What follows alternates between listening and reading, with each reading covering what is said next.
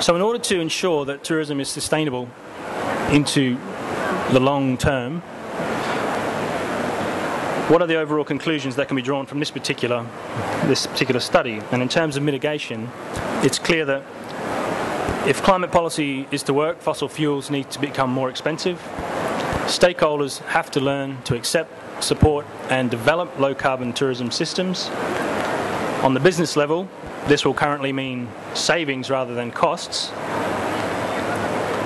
However, in the medium term, energy intense forms of tourism would become infeasible. This means that early adapters are likely to have a business advantage to those that follow later. And overall, a decentralised, low carbon economy is, is likely to support more jobs while contributing to poverty reduction. As such, the work on mitigation in tourism is still in its infancy and needs to begin immediately.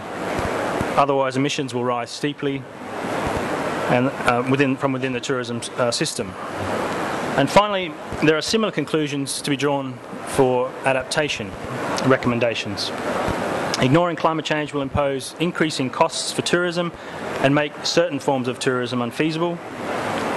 Studying impacts and assessing adaptive capacity can help to identify key vulnerabilities and opportunities and improve overall decision making.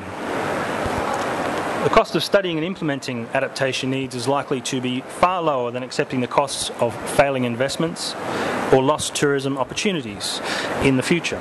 There is a clear economic argument to work with adaptation.